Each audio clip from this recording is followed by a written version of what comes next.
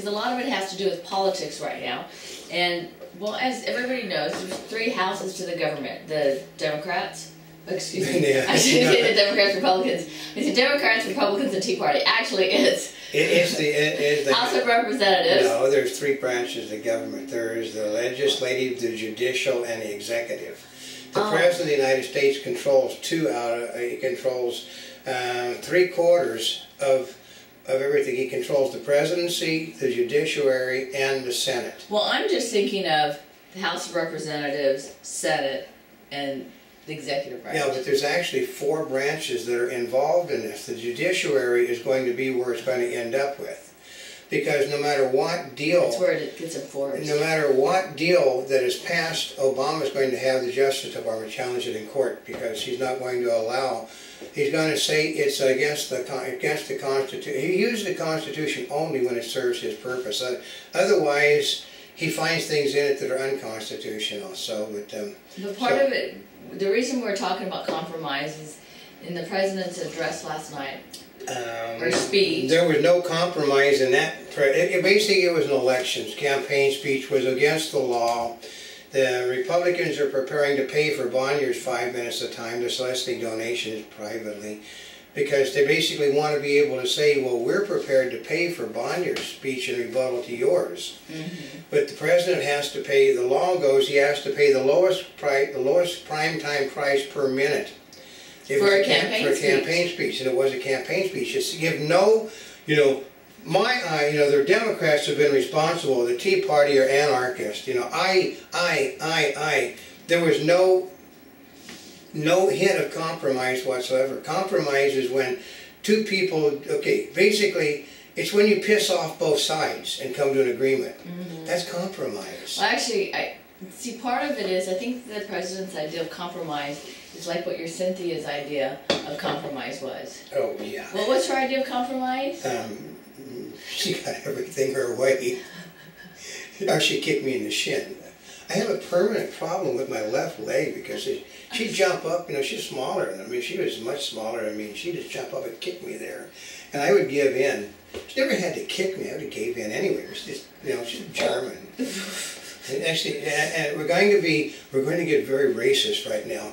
She was a Jap. Mm-hmm.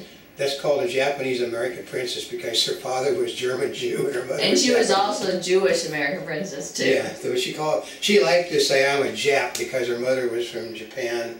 So I am a Japanese American princess. Princess meaning Jew. So, but um, her that was her idea of compromise. Um, I would go out with her and she'd spend my money. She never spent her money. I mean, that was it. We just go to we go but we go out to buy. Oh, don't you think this is nice? And I say yes. Then I sit there and I talk to the salespeople. Well, aren't you interested? And we said no because she's going to buy whatever she wants to buy to begin with. Oh, well, didn't you want compromise? I would have loved compromise. I mean, it would have been nice because she never spent a penny of her money for anything. You know, uh, uh, other than if it was something very big she wanted, she'd spend her money. So, so do you think like the president's relationship with Congress is like one of a marriage? Oh yeah, you know, yeah. He he's the wife in the family, and the wife actually runs. Okay, here the trick is, he is uh, Afro American male, which he really isn't. But in Afro American families, the woman runs the runs the marriage, Which means Michelle runs him and he runs. the country. So, but um, he's treating you know like the the Mills are irresponsible. The Mills are not doing. uh, No, uh, uh, Obama's idea of compromise is to put his party out on a limb and cutting that limb off slowly behind him. As they creep forward, he cuts a little bit more until they finally get to where the cut is, and then he goes. They're like, say uncle. Yeah, he, he- he's known for throwing his throwing his supporters under the wheels of the bus.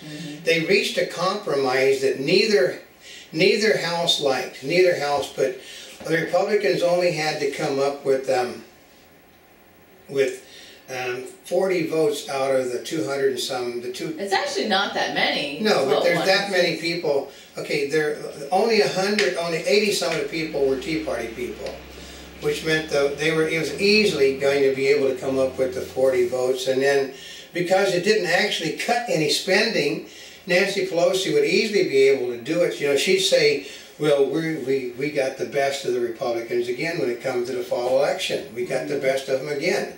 You know, they, they bit that this were going to cut spending. Mm-hmm. You know, we got the spend, we got the increase in government.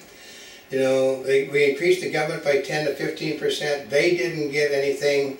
And we got everything we wanted but increased taxes, and we are going to get increased taxes because Boehner promised to um, to going to do going to fix the tax problems.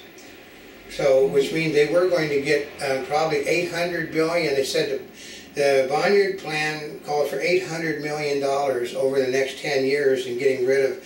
But see, the problem is it also got rid of the loopholes for all those favorite Democratic Party things. You know, like which is a thousand dollars a ticket for a passenger subsidy for airplanes in Podunk, Iowa. What are you two talking pe- about? Okay, the federal government subsidizes airports where they only have four or five people flying a month out of, you know, at a thousand dollars um, a a day. Mm. And they subsidize uh, Amtrak, which nobody's using, which should be a private service. They subsidize, the post office does not accept one penny of federal money.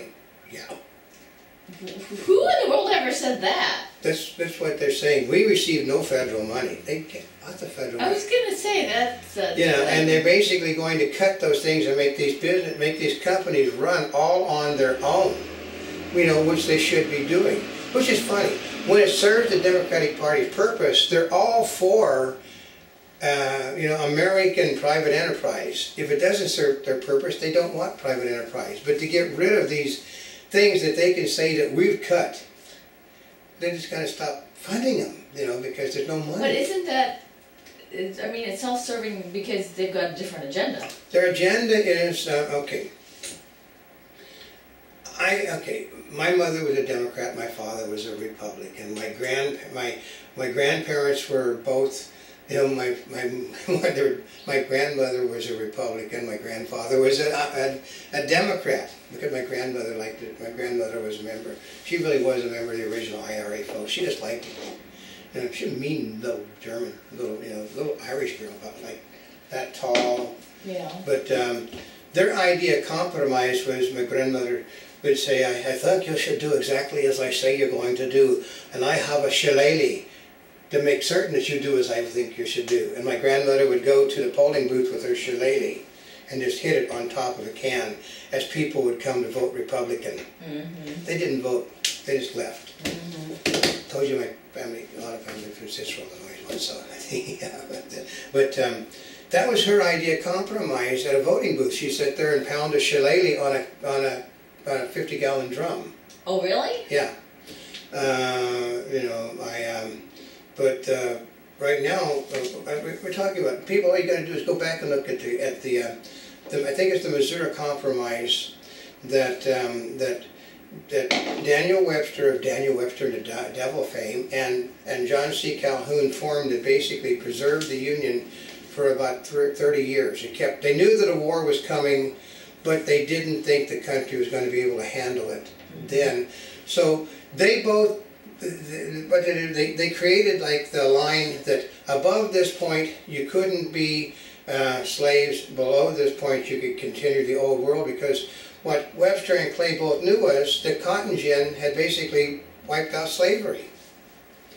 Because, I mean, uh, they said, well, it caused slavery. Yeah, but they then created a cotton picker.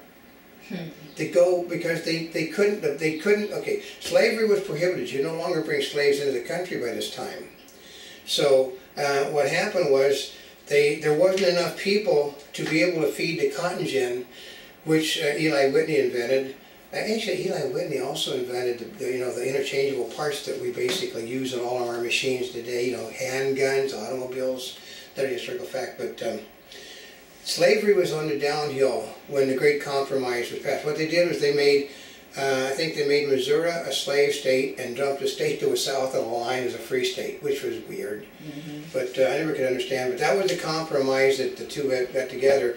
The, the uh, people, the northern politicians hated it. The southern politicians hated it. Like in the in the words of Monty Python, everybody hated the life of Brian, so it must have been one hell of a good movie. they they basically pissed off everybody. That's- which was their intention. Yeah, but that means you've done your job. If you pass, uh, uh, you know, a good piece of legislation that is passed is a piece of legislation that absolutely no one likes, no one. That includes the people that wrote it. And you say, well, no one likes the, um, no, no one likes Obamacare. The people on the left love Obamacare because they, as they have said repeatedly, it's a start. So no matter what you might hear, the people that are complaining are not the people on the left in the Democratic Party. Other than the fact that they wanted it to go farther, but they also know that basically now it's already there, and um, they think that they can hold the presidency and stuff, so they can keep it going. But remember, there was no compromise over. Ob- There's been no compromise over anything this president has done since the day he stepped into office. Well, actually, part of it is